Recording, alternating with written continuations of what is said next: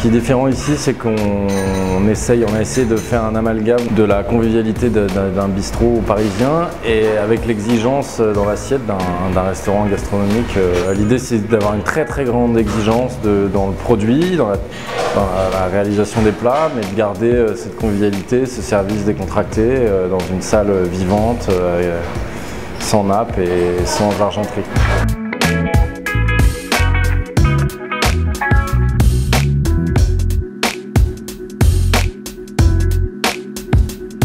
Avec ça passe deux cartes blanches. Deux tours de champi, de l'autre des agneaux.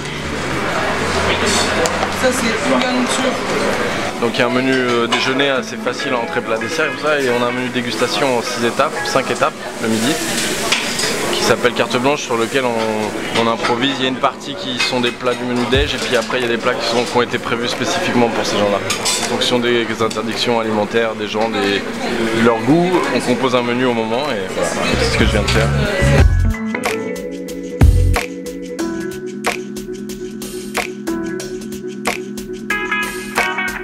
On compose avec les produits disponibles et on n'essaye pas de sourcer les produits coûte que coûte. On fait vraiment avec le marché, avec euh, ce qu'il y a de plus beau. Donc ça nous oblige à changer la carte tous les jours. C'est aussi un moyen de ne pas être dans la routine et d'être en recherche constante d'idées nouvelles.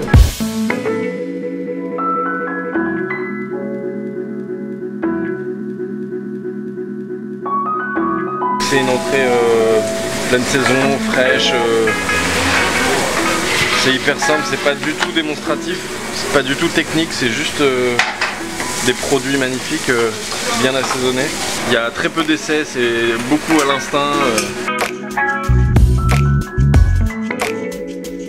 Les menus, selon la saison et l'inspiration, sont une, alternance de plats comme ça, très frais, très contemporains, très, très assemblés, et puis aussi de choses plus cuisinées en général, on, attaque le repas avec des choses comme ça, un peu fraîches, et on termine sur des choses plus confortables, rassurantes, sur les viandes par exemple.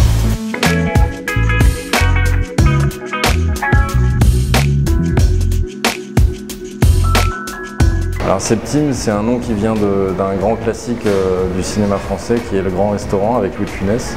Euh, c'est un peu un pied de nez au restaurant euh, avec un service un peu empoulé et cinq serveurs autour de la table.